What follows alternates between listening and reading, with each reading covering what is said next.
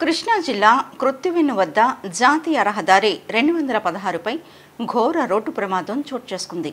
ఈ ప్రమాదంలో ఆరుగురు మృతి చెందగా ముగ్గురికి తీవ్ర గాయాలయ్యాయి.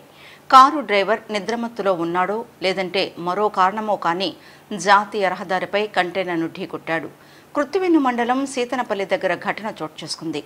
ఈ ప్రమాదంలో ఆరుగురు అక్కడికక్కడే మృతి చెందగా ముగ్గురికి తీవ్ర గాయాలయ్యాయి. క్షతగాతులను మచిలీపట్నం ఆసుపత్రికి తరలించారు. మృతులంతా తాళ్ళరేవు వాసులుగా గుర్తించడం జరిగిందని మచిలీపట్నం డీఎస్పీ సుభాని తెలిపారు. అమలాపురం అంబేద్కర్ కోనసీమ జిల్లా నుండి తాళ్ళరేవు నుండి వెళ్తున్న అశోక్ లేలాండ్ కంటైనర్ను కృత్తివెన్ను మండలం సీతనపల్లి వద్ద ట్రక్కు ఢీకొనడంతో ఘోర రోడ్డు ప్రమాదం సంభవించింది. ఈ ప్రమాదంలో అక్కడికక్కడే ఆరుగురు మృతి చెందారు. స్థానిక పోలీసులు సంఘటనా స్థలానికి చేరుకొని రోడ్డు ప్రమాదంలో మృతి చెందిన మృతదేహాలను ప్రభుత్వాసుపత్రికి తరలించారు. ఈ ఘటనపై కేసు నమోదు చేసి దర్యాప్తు చేస్తున్నట్లు మచిలీపట్నం డీఎస్పీ సుభాని చెప్పారు. ఈరోజు తెల్లవారుజామున సుమారు నాలుగున్నర ఐదు గంటల ప్రాంతంలో కృత్తివెన్ను మండలము కృష్ణా జిల్లా వద్ద మనకి ఇండియన్ ఆయిల్ బంక్ దగ్గర ఒక యాక్సిడెంట్ జరిగింది. ఈ టూ వర్డ్స్ పెడనా నుంచి లోసరి బ్రిడ్జి వైపు ఒక కంటైనర్ వెళ్తూ ఉన్నది.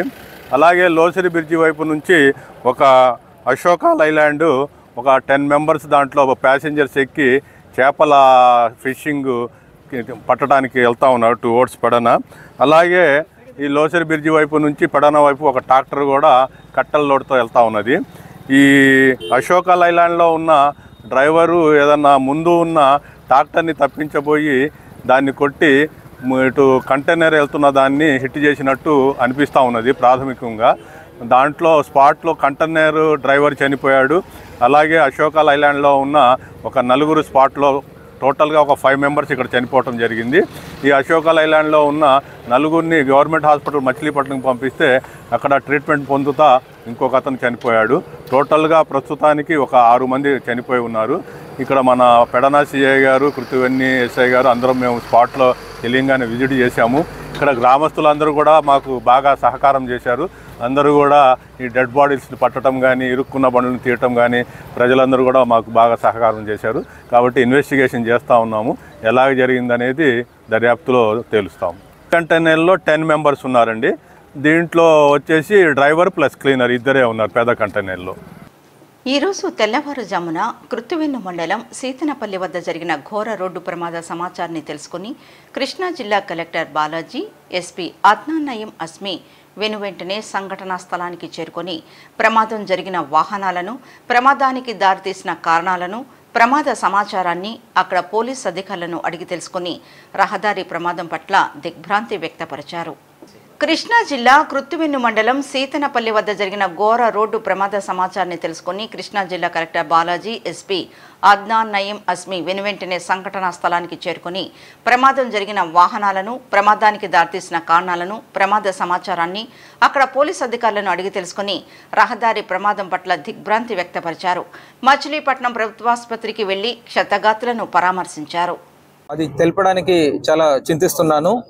సో ఇక్కడ జరిగింది ఏమంటే ముందు ఒక ట్రాక్టర్ వెళ్తూ ఉంది. ఆ ట్రాక్టర్ వెనకాల వస్తున్న దోస్త్ వెహికల్ ట్రాక్టర్ని ఓవర్టేక్ చేసే ప్రయత్నంలో ట్రాక్టర్కి స్లైట్గా కొలైడ్ అయ్యి అదుపు తప్పింది. అదుపు తప్పినప్పుడు ఎదుటి నుంచి వస్తున్న ఒక కంటైనర్ వెహికల్ ఏముంది? ఆ రొయ్యల్ ఫీడ్ కోసం I mean I mean carry చేస్తున్న వెహికల్ మళ్ళీ ఈ దోస్త్ వెహికల్ ఢీ ఢీ కొట్టడం జరిగింది.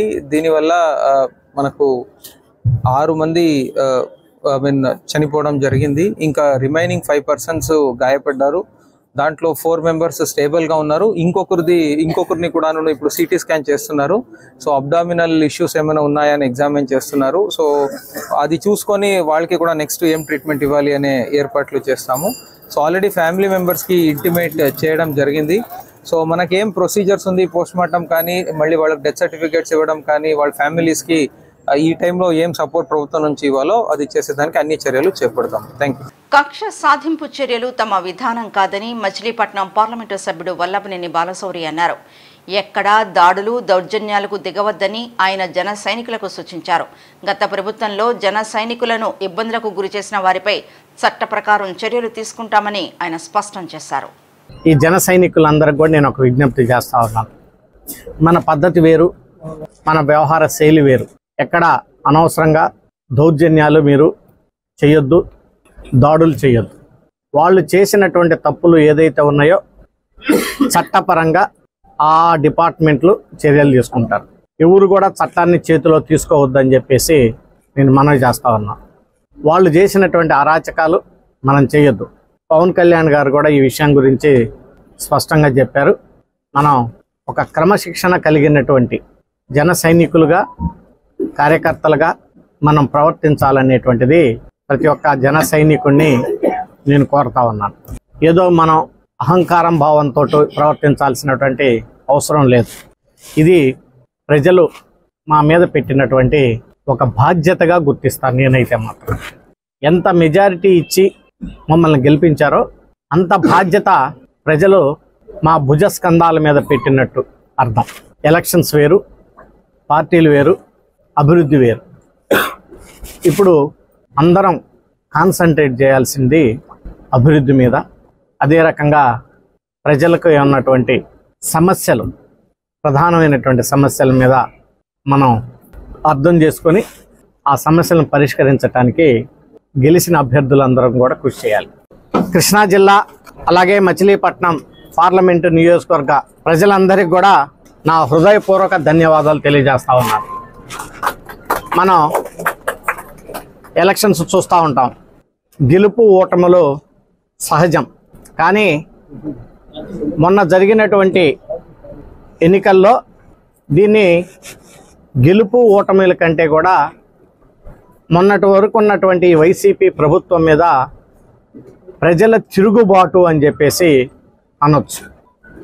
ఎందుకంటే వేరే ప్రాంతాల్లో ఉన్నటువంటి ప్రజానికం కానివ్వండి అక్క చెల్లెలు కానివ్వండి అన్నతమ్ముళ్ళు కానీ ఈ ప్రభుత్వాన్ని గద్దె దించాలి. ఈ శాసనసభ్యులు అరాచకాల్ని అరికట్టాలి అనేటువంటి ఒక కసి మీద ఎలక్షన్స్ చేశారు ఓట్లేశారు. రాష్ట్రంలో నిరుద్యోగ సమస్య విలయతాండవం చేస్తున్న తరుణంలో ఆర్థికంగా రాష్ట్రం వెనుకబడి ఉన్నప్పటికీ ఇచ్చిన మాటకు కట్టుబడి పదహారు వేల మూడు వందల నలభై ఏడు పోస్టులతో మెగా డిఎస్సి ప్రకటించి ముఖ్యమంత్రి చంద్రబాబు నాయుడు చారిత్రాత్మక నిర్ణయం తీసుకున్నారని అవినిగడ్డ ఎమ్మెల్యే మండలి బుద్ధప్రసాద్ అన్నారు. నిరుద్యోగ యువతకు మహాకూటమి ప్రభుత్వం అండగా నిలుస్తుందని చెప్పారు. చంద్రబాబు నాయుడు నాయకత్వంలో ఎన్డీఏ కూటమి ప్రభుత్వం ఏర్పడిన అనంతరం తొలి సంతకం మెగా డిఎస్సిపై చేయడంతో అవినిగడ్డ రాజీవ్ గాంధీ చౌక్లో డిఎస్సి నిరుద్యోగులతో కలిసి చంద్రబాబు పవన్ కళ్యాణ్ల చిత్రపటాలకు పాలాభిషేకం నిర్వహించారు. ఈ సందర్భంగా బుద్ధా ప్రసాద్ మాట్లాడుతూ ఎన్డీఏ కూటమి ఏర్పడిన వెంటనే రాష్ట్రంలో నిరుద్యోగ యువతకు న్యాయం చేసేలా చర్యలు తీసుకోవడం అభినందనీయమని అన్నారు. గడిచిన ఐదేళ్ళుగా ఎప్పుడు డిఎస్సి ప్రకటిస్తారా తమ జీవితాలలో ఎప్పుడు వెలుగులు నింపుతారా అని ఎదురుచూస్తున్న నిరుద్యోగ యువతకు ఎన్డీఏ కూటమి ప్రభుత్వం న్యాయం చేసిందని అన్నారు. వారాహి యాత్రలో అవినిగడ్డకు విచ్చేసిన పవన్ కళ్యాణ్ యువగళం పాదయాత్రలో నారా లోకేష్ చంద్రబాబు నాయుడులు తమ ప్రభుత్వం వచ్చిన వెంటనే మెగా డిఎస్సి ఇస్తామని వాగ్దానం చేసి నిలబెట్టుకున్నందుకు వారికి కృతజ్ఞతలు తెలిపారు. అదేవిధంగా కుదించబడిన పాఠశాలలను సైతం తిరిగి ప్రారంభించేందుకు ప్రభుత్వం నిర్ణయం తీసుకుంటుందని అన్నారు.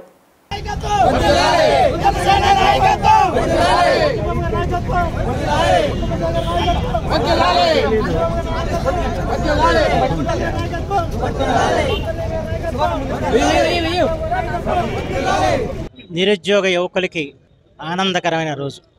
శ్రీ చంద్రబాబు గారి నాయకత్వాన ఎన్డీఏ ప్రభుత్వం ఏర్పడిన వెనువెంటనే ముఖ్యమంత్రిగా పదవి బాధ్యతలు స్వీకరించి మొదట సంతకం మెగా డిఎస్సి మీద వారు పెట్టడం నిజంగా ఆనందదాయక విషయం.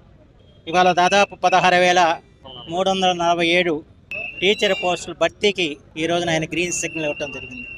ప్రత్యేకించి అవనిగడ్డలో ఉన్న ఈ డిఎస్సి కోసం గత ఐదు సంవత్సరాల నుంచి పస్తులుంటూ బాధలు పడుతూ ఎప్పుడు డిఎస్సి ప్రకటిస్తారా ప్రకటిస్తారా మన జీవితాల్లో వెలుగులను నిండుతాయని చెప్పని జగన్మోహన్ రెడ్డి పరిపాలనలో ఆయన కూడా మెగా డిఎస్సి ఇస్తానని చెప్పిన ఎన్నికల వాగ్దానం చేసి ఆ వాగ్దానం నమ్మి రాష్ట్రంలోని పలు ప్రాంతాల నుంచి అవనిగడ్డకు వచ్చే డిఎస్సి కోచింగ్ పొందడం జరిగింది.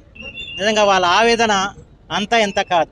తల్లిదండ్రులు పంపించిన డబ్బుతో చివరికి ఇక్కడ వాళ్ళ కూలి పనులు కూడా చేసుకుని ఇక్కడ కోచింగ్ పొందారు.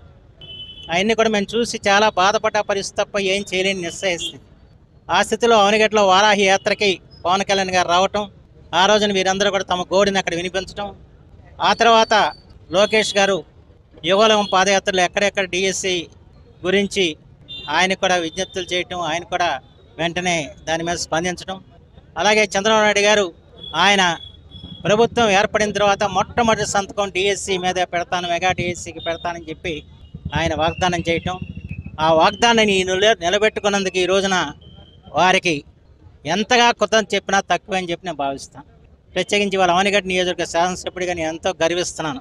ఎందుకంటే ఈ పిల్లలందరూ కూడా దాదాపు రెండు వేల పైగా పిల్లలు అవనిగడ్డలో కోచింగ్ పొందుతూ వాళ్ళ పట్ట ఆవేదనంతో కూడా నేను చూశాను. నిజంగా వాళ్ళ వాళ్ళ ఆనందం చూస్తే అవతల లేకుండా ఉంది. ఎందుకంటే వాళ్ళ నిరుద్యోగ సమస్య రాష్ట్రంలో విలయతాండవం చేస్తుంది. ఆ పరిస్థితుల్లో ఇవాళ మెగా టీఎస్సీని ప్రకటించడం నిజంగా ఒక చారిత్రాత్మకమైన విషయం. ఎందుకంటే రాష్ట్రం చాలా ఆర్థికంగా ఇబ్బందులు ఉన్న సంగతి వాస్తవమైన విషయం. అయినప్పటికి కూడా మెగా డిఎస్సిని ప్రకటించి ఇవాళ వీరందరికి కూడా ఉద్యోగ అవకాశాలు కల్పించి వాళ్ళ జీవితాల్లో ఒక వెలుగులు నింపాలని చెప్పి వాళ్ళ చంద్రబాబు గారు పవన్ కళ్యాణ్ గారు ఇద్దరు కూడా పూనుకుని ఈ మహత్తర కార్యం చేసినందుకు వారికి నేను ప్రత్యేకించి హృదయపూర్వకమైన ధన్యవాదాలు తెలియజేస్తున్నాను. ఇప్పుడు కాసేపు rectangle